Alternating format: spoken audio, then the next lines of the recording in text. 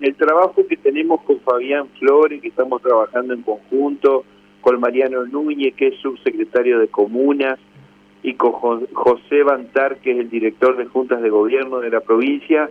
Con ellos tres que te nombré, formamos un equipo de laburo en donde estamos permanentemente en contacto con las juntas de gobierno, con las comunas, que vos sabés que ahora son 53 las comunas que hay en la provincia, y en un par de, de meses más va a haber más comunas y va a haber más municipios porque eh, en breve se va a estar haciendo un censo.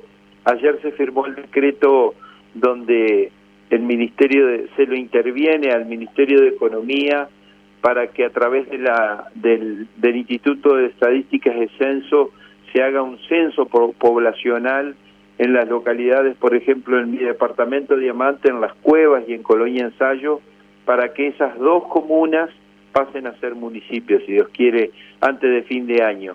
Es una decisión del gobernador Bordet.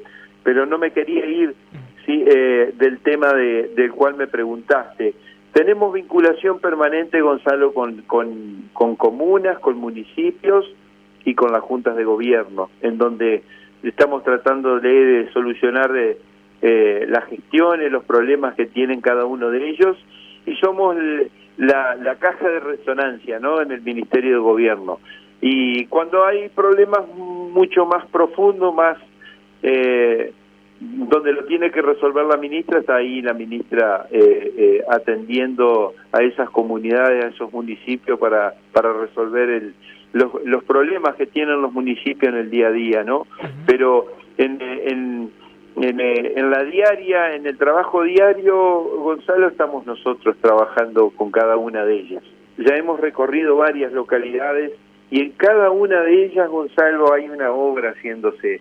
Eh, a mí me tocó eh, eh, romper el hielo con mi primera visita a Aldea Santa María, que fue una aldea que nunca había ido. Fíjate vos que, que esto es lo lindo que tiene la política y lo lindo que tiene estar en una función como en el Ministerio de Gobierno, ¿no? Aldea Santa María, ahí pasando Cerrito, fuimos a, visitar la Clelia, a su, a su presidenta de, de junta, y, y nos contaba todas las realizaciones que estaba haciendo, obras de Lenosa, obras del Estado provincial, gestiones a nivel nacional.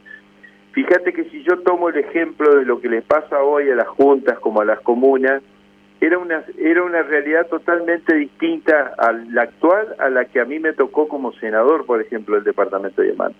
Cuando yo fui senador no había comunas, había juntas de gobierno y municipios. Hoy la realidad es otra. Y como vos bien decís, trae eh, para, para todas esas localidades y todas esas transformaciones que se producen de junta de gobierno a comuna y de comuna a municipio, Gonzalo, es indudable que el mejoramiento económico que le llega a cada una de ellas es enorme